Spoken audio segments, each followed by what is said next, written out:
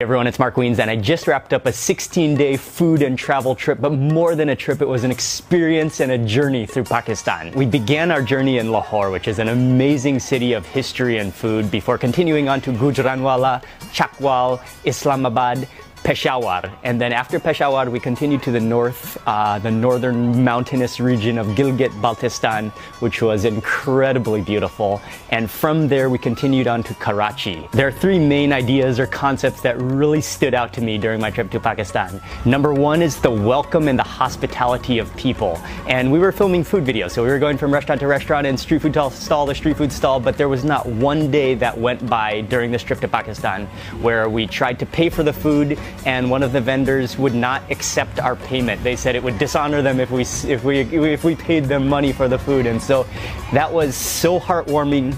Um, and every single day, people would come up, they would want to shake our hands, they'd want to take a photo, uh, they would just want to welcome us to Pakistan and say thank you for being, for, for being here, for traveling to Pakistan. Number two is the food. And of course, we traveled to Pakistan for the food. The food was unbelievable. From karahis to kebabs to niharis to payas and all the street food in between. You'll find food everywhere and, and it's so rich, it's so flavorful. Food was incredible. Finally, number three is the unbelievable landscapes and the scenery of Pakistan, especially when we traveled around the Gilgit-Baltistan region, the mountainous region, the Karakoram Mountains and the Himalayas.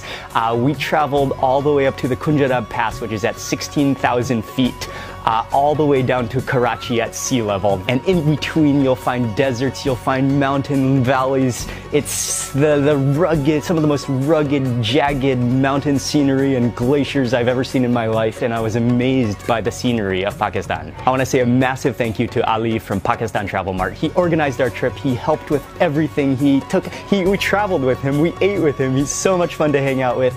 And without Ali, it wouldn't have been possible. So huge thank you to Ali for making this entire trip happen. And finally, I want to mention that Pakistan hasn't always received the most positive uh, impression, uh, and it has faced many struggles and conflicts.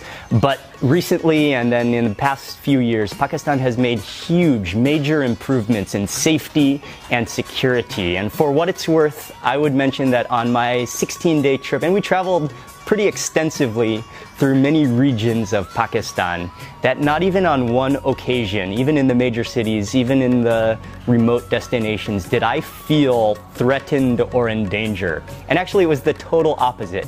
People just walking along the streets, random people, they wanted to shake our hands, they wanted to say welcome, they wanted to greet us, they wanted to say thank you for visiting Pakistan. And so I owe it to the people of Pakistan. I'm so grateful for the opportunity that I had to visit. It was a privilege and it was one of the most memorable, one of the most unforgettable trips that I've ever had in my life. And one more thing, my new favorite pair of footwear, Peshawari Chappals with the thick soles.